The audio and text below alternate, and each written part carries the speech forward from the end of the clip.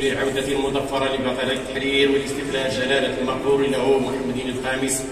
والأسرة الملكية الشريفة من المنفى السحيق إلى أرض الوطن معلنا نهاية عهد الحجر والحماية وإشراق شمس الحرية والاستقلال.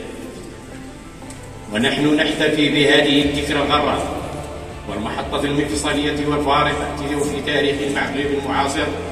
نستحضر المواقف الخالدة لنساء ورجال أوفياء مخلصين لم يتوانوا لحظة واحدة في الاستجابة لنداء الوطن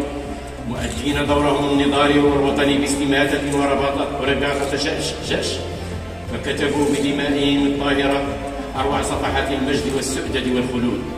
ستظل موشومة في الذاكرة الجماعية مؤكدة على الأواصر المتينة الوجه وتجسد بالدليل القاطع والبرهان الساطع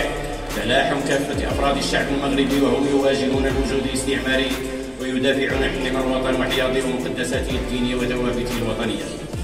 إن عظمة هذه الذكرى بأيامها المجيدة الثلاثة تستوجب بل تحتم علينا أن نقف وقفة تأمل وتدبر في تاريخ المغرب الغني بالأمجاد والروائع والمكارم والتي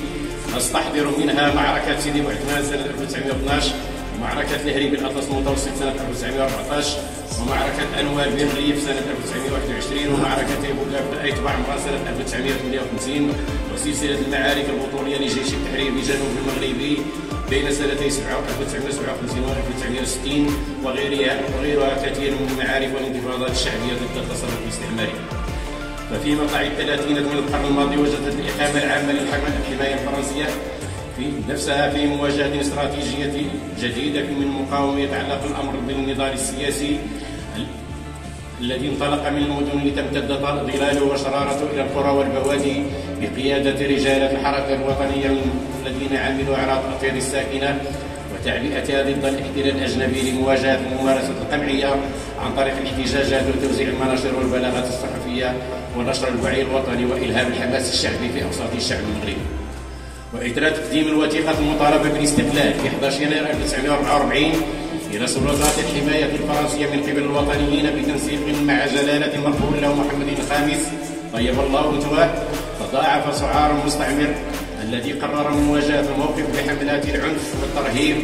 والتصفية الجسدية التي طالت عشرات المتظاهرين في مدن فاس وسلا والرباط والمكناس وغيرها عقب الانتفاضات والمواجهات العارمة شهدت كافة أنحاء البلاد أيام 29 30 31 يناير 1944 تأييدا للمطالب العادلة التي تضمنتها وثيقة المطالبة بالاستقلال وسيشد الصراع أكثر بين الإقامة الإقامة العامة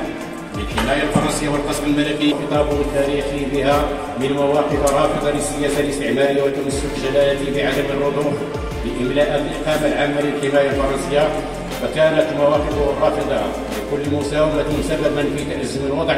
وشروع المستعمر في تدبير مؤامرة الفصل بين الملك وشعبه. وقد تصدى المغاربة لهذه المؤامرة التي ثبتت خيوطها في بداية الرشد 1953 حيث وقف المراقشيون ابن مرصاد يوم 14 و 15 رشد 53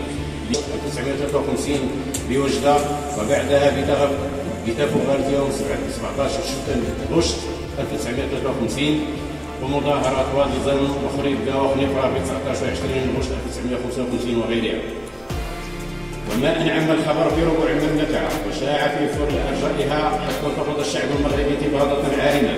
وتفجر غضبه في وجه الاحتلال الأجنبي وبدأ التخطيط للعمل المسلح والمقاومة والفداء حيث تشكلت خيار المقاومة الفدائية والتنظيمات السرية وانطلقت عملية عملية البطولة